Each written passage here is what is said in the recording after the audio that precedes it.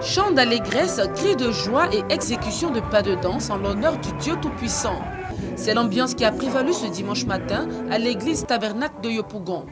Un culte d'action de grâce aux allures festives pour satisfaire à la tradition de la fête des moissons célébrée chaque année dans cette église. L'action de grâce, c'est un moment de reconnaissance tout simplement. Ce sont les actions que nous apportons, nos bénédictions que nous présentons à Dieu pour ce qu'il nous a fait.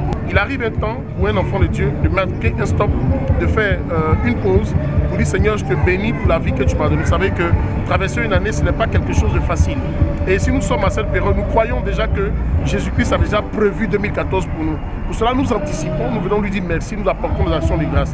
Une occasion pour le peuple de Dieu de faire des offrandes en nature et en espèces. Je vois un peu la grandeur de l'éternel dans ma vie, donc je ne peux que lui dire merci pour tout ce qu'il a fait. Donc c'est la joie qui m'anime et la véritable paix. Ça fait pratiquement un an que le Seigneur nous a gardés en vie. Si vous partez dans les hôpitaux, vous allez voir des qui sont malades, des qui sont morts, et vous et moi sommes en vie.